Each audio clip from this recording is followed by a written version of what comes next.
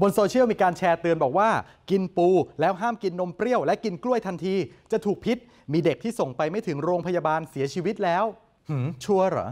ศูนย์ชัวร์ก่อนแชร์สำนักข่าวไทย อสมทสอบถามกับอาจารย์ที่สถาบันโภชนาการมหาวิทยาลัยมหิดลครับ กินปูแล้วต่อด้วยนมเปรี้ยวและกล้วยทำให้เสียชีวิตได้เลยเหรอครับ ไม่ได้เป็นสาเหตุจากการที่ไปกินร่วมกัน แต่มันอาจจะเป็นจังหวะที่มันบังเอิญ ถ้าเกิดขึ้นจริง เช่นเขาอาจจะมีสภาวะผู้ป่วย หรือในอาหารทะเลที่เขาไปกินจะมีเขาเรียกว่าแบคทีเรียที่มันสามารถที่จะผลิตสารพิษ แต่ที่แน่ๆ เราต้องไปค้นก่อนว่าเคสเนี้ยมันเกิดขึ้นจริงหรือเปล่า หรือเป็นการเคสแชร์ต่อๆกันมา ไม่ได้มีที่มาที่ไปอะไรแบบเนี้ยเรื่องนี้ค้นยังไงก็ไม่เจอแหล่งข้อมูลอื่นที่น่าเชื่อถือ นอกจากข้อความภาษาต่างประเทศที่มีเนื้อหาแบบเดียวกันเป๊ะ แล้วจริง ๆ การกินทั้ง 3 ร่วมกันจะมีปัญหาอะไรไหมครับ ก็ไม่ได้มีปัญหาอะไรเพราะทุกอย่างคืออาหาร ถ้าในกรณีที่แต่ละชนิดเนี่ยมันไม่ได้มีสารพิษอยู่แล้ว อย่างกล้วยเนี่ยมันจะมีสารพิษอะไรมันก็ไม่ใช่ เด็กยังกินกล้วยได้เราต้องมองแบบนี้ หรือว่าอย่างโยเกิร์ต อย่างเงี้ยโยเกิร์ตมีอะไร มันก็มีแคลเซียมเพราะมันมีนมถูกไหมคะ แล้วมันก็อาจจะมีเชื้อจุลินทรีย์ที่ดี ซึ่งในลำไส้เราก็มีอยู่แล้ว อย่างปูเนี่ยอาจจะเป็นเคสที่อาจจะมีการปนเปื้อนในแหล่งน้ำเช่นถ้าแหล่งน้ำมันมีการปนเปื้อนพวกสารพิษเนี่ยแต่ถ้า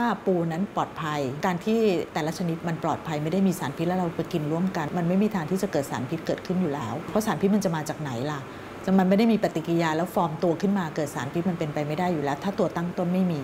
คือถ้าอาหารแต่ละอย่างไม่มีพิษการกินด้วยกันไม่ว่าจะกินคู่กันหรือว่าพร้อมกันไม่ได้ทำให้เกิดพิษขึ้นมาได้ แต่ตามหลักวิชาการแล้วอาจจะเป็นไปได้ว่าอาหารบางชนิดเมื่อกินด้วยกันแล้วจะเกิดข้อจำกัดในการได้รับประโยชน์ มันก็จะมีกรณีของเขาเรียกว่าสารต้านโภชนาการ จะถือว่าไม่ถึงกับเป็นโทษ แต่มันทำให้เราได้รับประโยชน์จากสารอาหารหรือแร่ธาตุต่างๆเนี่ยไม่เต็มที่ เช่น การดื่มนมร่วมกับมื้ออาหารที่คาดหวังธาตุเหล็ก ผู้สูงอายุบางคนเนี่ยเราขาดทั้งแคลเซียมเราขาดทั้งธาตุเหล็กเพราะฉะนั้นพอเรากินอาหารในมื้อนั้นเราก็เน้นอาหารที่เป็นธาตุเหล็กนะคะ เช่นทานตับเนื้อสัตว์ที่อาจจะเป็นเนื้อแดงที่คิดว่าเป็นแหล่งของธาตุเหล็กทานไข่แดงอะไรแบบเนี้ยในขณะเดียวกันในมื้อเดียวกัน อาจจะดื่มนมตามไปเลย เพื่อให้ได้แคลเซียมด้วย ปรากฏว่าร่างกายจะดูดซึมเอาไปใช้ มันเกิดการแย่งกันหรือขัดขวางกัน มันก็เลยไม่ได้ประโยชน์เต็มที่ทั้งแคลเซียมแล้วก็ธาตุเหล็ก การที่จะรับประโยชน์ก็คือว่าเราแยกทานซะคนละมื้อ หรือสำหรับคนที่ต้องการไอโอดีนจากอาหาร เราพยายามกินอาหารที่เป็นแหล่งของไอโอดีนเช่นเรากินอาหารทะเล แต่ในขณะเดียวกันเนี่ยเรากินผักที่มันมีสารต้านไอโอดีนอยู่ ที่เรียกว่าไกลโตรเจน ซึ่งมันจะไปขัดขวางการดูดซึมของไอโอดีนเช่นมีอยู่ในกะหล่ำปลีดิบ มันก็เลยทำให้ได้ประโยชน์ได้ไม่เต็มที่